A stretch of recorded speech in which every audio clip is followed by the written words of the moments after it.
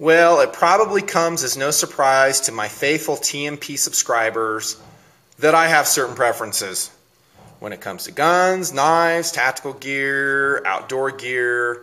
Yeah, there's certain things that I just dig. And some of those items may not be the best in their category as far as absolute superiority in the first type of cool, i.e., practicality. Um, you know, they may not be the lightest, may not have the most firepower, may not represent the best value, but I still like them. And that is pretty much the Sig Sauer brand for Nutnfancy. Love SIGs. I just love them. They're my 1911. You know, other guys are out there are attracted for whatever reason to the 1911 design. They love the trigger, the smoothness, the speed, the accuracy, how it carries, how flat it is. They love it. I admire all of those attributes of a good 1911 as well. However, it doesn't move me to the point where I will adopt it as my primary combat sidearm. I won't. But the SIG P226, you bet. And I did a multi-part series on that video explaining as to why I think it is still to this day one of the best all-around full-size combat pistols in, pistols in the world. Again, doesn't mean it's superior in every way as we go down these pistol talking points. What it does mean, though, is for me, I dig it. And, you know, enough said. If you dig it and you can shoot that design well, enough said. I mean, it's good for you. So, that being said, SIG has come out with some new designs. And although I'm a huge fan of, fan of the brand, that doesn't mean I can give a new design like this SIG P250, which I'm going to review right now, a buy and automatically assume that it is outstanding.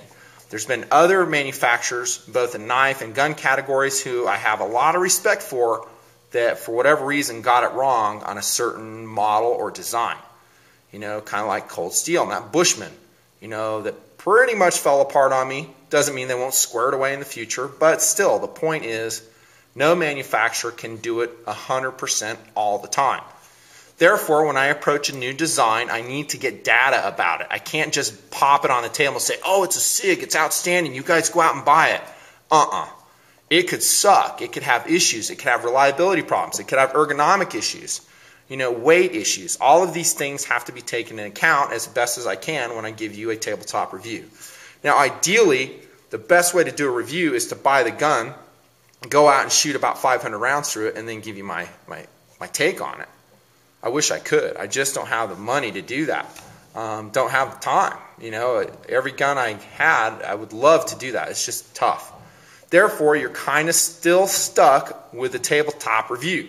However, I think you're going to see some points that I'll bring up as we go down that might help guide your decision, you know, pro or con on the SIG P250. Uh, I will say that I am much more excited about the design than I was last year because I have more data.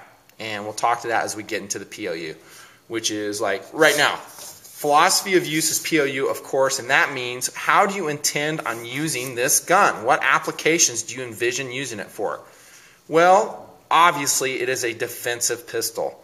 You know, if you're a law enforcement officer or heck, military dude, maybe offensive even civilian sheepdog. Just depends on what's going on. Never eliminate that option here in TNP. So that's what it is. It's a combat pistol. Now you could use it recreationally, no doubt. Um, be prepared to take out a second mortgage. That's how expensive ammunition is these days. Uh, even reloading isn't that cheap. So I don't know if I would totally classify this as a recreational pistol. To me, a recreational pistol is one you can shoot like a lot maybe along the lines of a Ruger 2245 Mark III or the excellent Browning Buckmark. Those are recreational pistols. This one is a defensive pistol designed to save your life, maybe the lives of others. Enough said on that. Size and weight. This is all good. All good. First, let's go to the SIG catalog and look at some options for the SIG P250. First off, and I'm just going to bust out with this, this is a modular gun, and that's what it's touted as by SIG. Modular means that the interior portion, this module here, can be swapped into different sized frames with different sized slides. And you can pretty much create a gun that fits your hand. Okay, I'll speak to that in just a second. And guess what our pointer is today? We're going to use, speaking of Cold Steel, the Cold Steel Black Rhino. Black Rhino.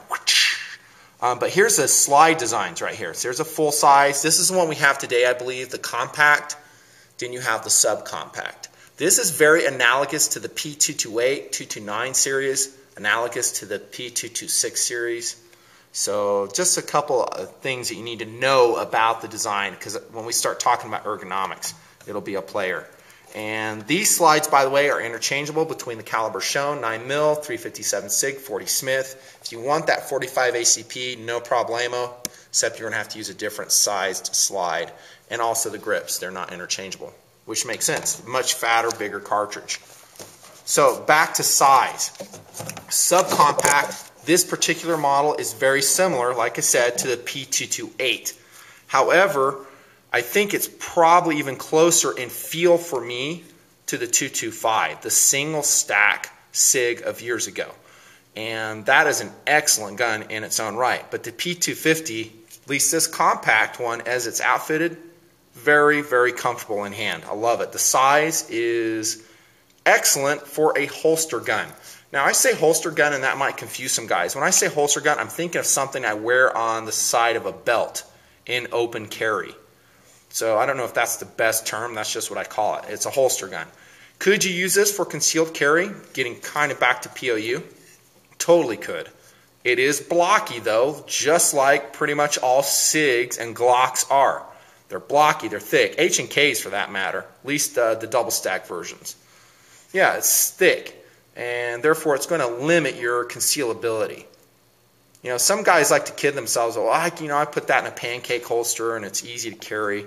Um, I just think thickness is a very critical dimension when you're talking about concealed carry.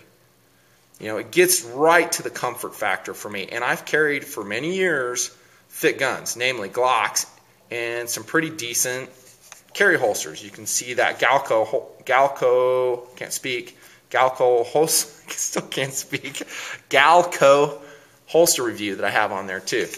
I carry a T2 uh, Glock 26 in. Still a chunky gun.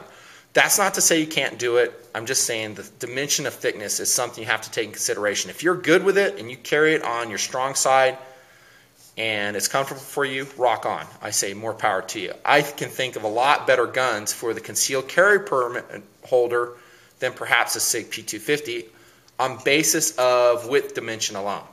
Now the weight is decent. I have no problems with the weight. It's basically a 25 ounce gun with the magazine about 25 and a half ounces. And for that, this type of full size 9 millimeter or 40, that's excellent. And I'll make sure I'm telling you right. Yep, this one's a 9 mil. I'll make sure I didn't have a 40 in my hand. But that's a lightweight gun, and it competes very favorably against my other standard. You know what this is. You see it coming, the Glock 17 or the Glock 19 is what this would be more, compa- more competitive with. So the weight is excellent on the SIG P250. And truth be told, it blows away the P228 and the 229. A SIG 229 weighs 32 ounces. 228, 20, 28 and a half. The P250 blows it away, just blows it away. So very lightweight in hand. If you can get past the chunkiness of it in a concealed carry role, go for it. If you're just using it as a holster gun, you know, carry it on the side, you are going to be very, very happy with the weight of the P250. That brings us to firepower of the gun. And it is excellent and on par with all of the current designs coming out now. I mean, years ago, 15 rounds was considered a lot. Now, the newest models, kind of like the P250 full size, there we go. There's the catalog again, P250 full size, compact, subcompact, and there's your round counts right there in 9 millimeter. That's what I'm concentrating on. 20 rounds, 16 in this version, and then 12. That's excellent. Now, I'm assuming that's uh, just the magazine capacity. We have witness holes down to 15 on the side of the magazine. Made in Italy mag, probably by Mec-Gar. And probably one in the pipe. So that's excellent firepower for a compact gun. By the way, I want to talk about this in a separate vid. Don't get confused and when they say the word compact, I think it's a little bit misleading. Because um, guys, when they hear the word compact, they say, well, I can put that on in an ankle holster, you know, I can carry it in a belly band. Um, to me, you want to go with a subcompact, you know, for comfortable carry in those roles. Some guys think, oh, it's compact, I can carry it any way I want. Well, again, dimensionally, think about think about your options in that way. uh, you're going to be a little bit limited for that. So the firepower, excellent. This, this gets to accuracy. Now, again, I don't have trigger time on this gun, so take it. You know, the data point I'm going to share with you is just that. It's a Nutnfancy data point, and it's going to be derived from me talking to associates who have had uh, trigger time on this gun, and two guys specifically that own it, and they absolutely love it, and they cannot say enough about how accurate the gun is. So I think for what it is, the SIG P250 is going to be as accurate as the other P series pistols and that is saying quite a bit. A lot. Because remember, a SIG 226 at 25 yards can pretty much put them in a two, maybe two and a half inch group in the hands of a really good shooter off a bench rest. You know, ransom rest, same thing. It's going to be extremely accurate. Pig, SIG P250, from what I'm hearing, is achieving the same levels of accuracy. Might be a little bit less if you go with the subcompact or the compact frame because you're going to lose some sighting radius. Okay, and the sighting radius is actually really cool. They list it here in the catalog. I'm probably going to lose it. There it is. 6.6 inches for the full size, compact 5.8 inches, subcompact 5. You know me, if given a choice, I like that longer sight radius all the time. It just makes it an easier gun to shoot accurately, at least when you're not point shooting and you're using those sights. Just a thought. So accuracy, I will say, is superb for the SIG P250. And this takes us down to ergonomics and interestingly to the trigger. Because the trigger is, and I forget exactly what SIG calls this trigger, but it is a double action only trigger. But it's unlike other double action only triggers that SIG has done, like the DAK or the DAC trigger. It is much, much smoother and much, much lighter. And like a lot of guys have been talking about, it's probably one of the best triggers out there, truth be told uh, of this variety, the double action only. About six pounds pull weight is what SIG tells us the SIG P250 has on the trigger. Indeed, it's a very smooth and lightweight, quick to manipulate double action only trigger. However, guess what? It's still double action only. Okay, why did I say it that way? Because I want to stress to you the importance of knowing the difference. Double action only means that you're going to have a long trigger pull in order to actuate the pistol, like this. As such, there is a lot that can go wrong in your sight picture if you are not practiced and applying the basics of marksmanship. Good breathing, good trigger control, good grip. If you're not doing that, then expect to have perhaps less accuracy with a SIG P250 because it's a double action only trigger pull. You know, Glocks have a shorter take up, much shorter take up than the SIG P250. That's not to say it cannot be mastered, it just means to say that it's different. Now, some guys will ask, well, which one do you prefer? I prefer the standard double action uh, first shot transition single action, the standard SIG trigger. I like that trigger because I can easily drop the dedicated hammer drop to transition back to double action only. And if I have to, I can go to single action for better speed and better accuracy. You will not have that option with the SIG P250. Every shot will be a long, albeit smooth, trigger pull. So be advised, that's something you should dry fire practice with a lot, and you'll get better at it. Um, I find it to be more of a more of a disadvantage at longer ranges, not so much of a disadvantage at shorter ranges. You know, seven to 15 yards. In my shooting, both duty and personal, I find it not to be a big issue. You know, within 15 yards, a smooth double action only trigger can function just fine. Speed too, it's actually pretty darn quick. And this is one of the better double action uh, triggers, like I've said probably about three times now, that I've had, I've seen in a semi-automatic pistol. It just rocks. So excellent trigger, practice with it. The controls are simple. Don't you like simple? I do. There's your mag release. By the way, very well designed, angled towards the thumb, no sharp edges, triangular in nature. They're not trying to change the world like H&K does with their trigger guard mounted mag release. Love it. And you can swap it over left to right if you're a lefty, so it's ambidextrous. Very cool. Love that mag release. Excellent. There's your slide release. Simple, right where we thought it should be, and there it is. No, obviously no hammer drop here on this particular SIG because the hammer is internal. Not internal, but it's bobbed. So you don't have to worry about that. And there's your takedown lever right there. Simple, that's it. I like simple. No safety catch to worry about, it's just simple. The feel, like I mentioned earlier, is excellent. Very reminiscent of a P225 actually.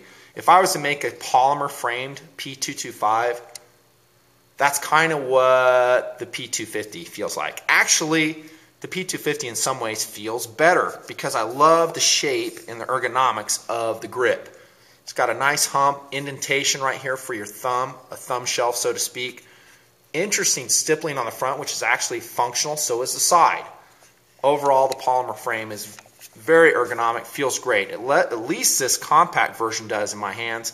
And again, if you don't like it, well, I suggest buying the one you like right off, but if you don't like it, you can swap it out. And here in the catalog, they show the different dimensions for the different ergonomic grip, grip sizes. And you know, I won't go over the dimensions, but you can see that it's a little bit thicker for bigger hands, and that's what it's for.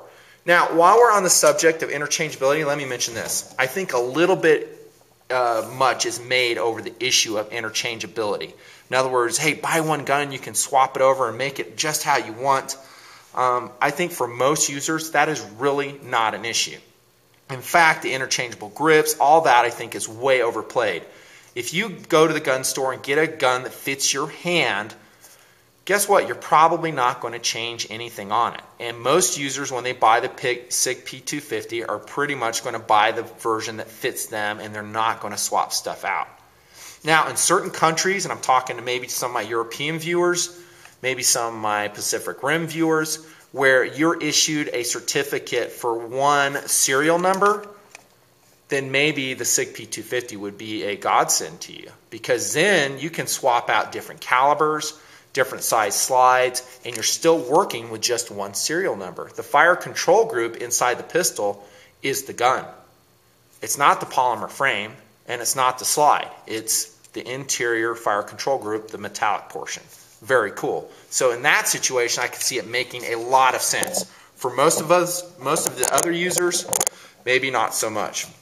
Perhaps some departments, some LE departments, police variety out there, it can make sense to go with the SIG P250 and then you can swap things around for the different sized hands that your officers have. I could see that being an issue. But to the average civilian, I think it's a little bit oversold. How's the sights on the gun? Keep going, man. There's so much to talk about. These are tritium variety on this one. They're excellent. Just standard three dot tritium. Not much to say about them. I always like the three dot pattern. It's fast. Plenty of light on each side of the front blade there so you can acquire quickly. Decent. Overall, the ergonomics I will call outstanding. And by the way, I still like that flattened trigger guard on the SIG, SIG P250. I love it. It rocks. Yeah, I'm weird. I know that. I put my finger up there. That's totally contrary to everybody else in the world who shoots like that. But guess what? I shoot good that way. Been doing it for years. There's your rail. Put a tack light on there, decent. That's pretty standard with most designs, and I kind of would like it on every gun that I own because I think the light is one accessory that makes a ton of sense in certain tactical environments. Decent. There's a mag plate right there on the bottom. I forgot to mention that, and there's your magazine previously shown. How's the field strip and maintenance? Well, since I got the mag out, let's go ahead and field strip this. It's very easy because it's a SIG. How about all guns are this easy? Just rotate the takedown lever. Try not to pinch the fat of your hand like I always do. Slide comes off. Bam, done. If you want to go further like that, take the barrel out, and that's how you're going to clean the barrel. Clean, clean it from the chamber end, like so. Put it back together. I put a little drop of CLP right here, right there maybe. Slip 2000, whatever your lubrication of choice might be. And while we have it out, there's that fire control group, the metallic portion. That's what the slide rides on. There's the front steel rails and the back steel rails. There's the bobbed hammer, all integrated in that module. Isn't that cool? And that module can switch over to whatever type of grip you want. So I guess if you know if you just want to have one gun and swap calibers all the time, maybe it is a good thing. Maybe it is something you would use. And then you just put it back, rotate the takedown lever, function check, safe direction. Done. That's field strip. Simple as it comes. The only one simpler is the Glock. They're excellent. But field strip maintenance, very, very simple on the SIG P250. Accessories and versatility, of course, we talked about the rail. You can slap a light on there. Versatility, uh, you might say it's excellent um, because you can swap out the entire frame of the gun. You know, some guys say, well, I can't really modify the grip. Well, actually, you can. You're going to modify the whole gun to do it, and it's probably going to be more of an expensive proposition than other pistols might be, but you can do it. And if you've got a weird size hand, no doubt you'll probably find a grip size that's going to fit you just fine. So the sights might be kind of a downside because it has a very interesting dovetail in the back. You can see those are not dovetailed like a normal sight, nor are they driftable left to, left to right. The front sight is, however. So the sights, it might be some years before you'll see some aftermarket sights for it. That's kind of a downside anytime you go with a new pistol design. In order to get a lot of accessories, like I've said many times before, the gun is going to have to sell extremely well especially if it can get in the hands of some police departments around the country, heck, around the world, then you're going to see some accessories coming through. Because then guys uh, or accessory makers can make money off their accessories. They don't want to go into the accessories market for the SIG P250 when they're only going to sell a few number of them. In order for them to be cost effective, they've got to sell a lot of them. So it's just a simple matter of economics. By the way, let me show you this. Lock the slide back. This is a plastic guide rod, just like a Glock. Some guys will have issues with that. I do not. If it was going to be an issue, I guarantee you SIG would have put a metallic guide rod in there. Same for Glock. Notice Glock, even after all these years, still has a plastic guide rod. Now, there's rumors abounding that, oh man, I've seen those shatter. I've never seen it done. I've never seen it, nor have I ever heard of it from a reputable source. And I interact with a lot of officers that shoot Glocks with those plastic guide rods. Really not a problem. So I wouldn't fret. Trust these companies. If they need to be metal, they would probably make it metal. Not to say, again, like the first part, they're not perfect, but they generally get most things right. Value on this gun, not too great, truth be told. It's going to be around the $600 point. That's a lot. I mean, if you look at a Ruger SR9, which is an outstanding 9mm semi automatic pistol, previously reviewed in the Nutnfancy project, that is a high value gun. Pretty much uh, under $400 if you get a good deal on it. This is going to be several hundred dollars more. But if you step back and look at it from a standpoint of, hey, I have some interchangeability here with a SIG P250 that I do not have with other guns, maybe that's a cool thing. Maybe the money's worthwhile. And getting into the second kind of cool, it's still a SIG.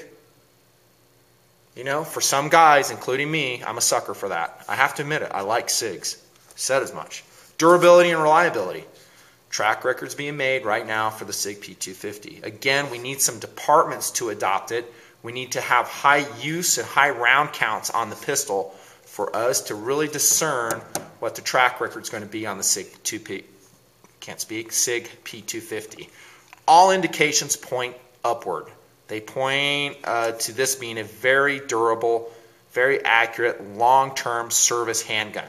But we can always be in for some surprises as we go down the road of track record. We've seen that before, haven't we, with several other designs? So it's just too early to tell. Definitely not going to be as proven as the SIG 226, the P228, which has served as the M11 uh, or the Glock series and any number of configurations with law enforcement agencies around the world. So the SIG 250 is kind of cutting its teeth right now, but all indications point up. Overall, I'm very impressed with the gun. Would I prefer it over a 229, a 226? Mm, probably not. And that's because I value the trigger of those guns probably more than the P250's trigger for ex exactly the reasons that I showed you and talked about. However, this gun is lighter. It's a 25 ounce gun and it's interchangeable. It's extremely ergonomic, comfortable, relatively fast to shoot, durable, and rust resistant. I didn't mention that. Um, it's going to be very resistant against elements. I think it's an outstanding pistol. It's going to cost you a little bit more, but I think it's going to amass a very good track record for itself. And again, everybody I've talked to that owns a SIG P250 loves it. You aren't going to see too many used ones sitting in owners or in gun stores. This is Nutnfancy. Thanks for the good ratings. Thanks for tuning in. Banging another pistol review out for you. Civilian sheepdogs, my law enforcement friends, and military types. We'll see you. Stay tuned.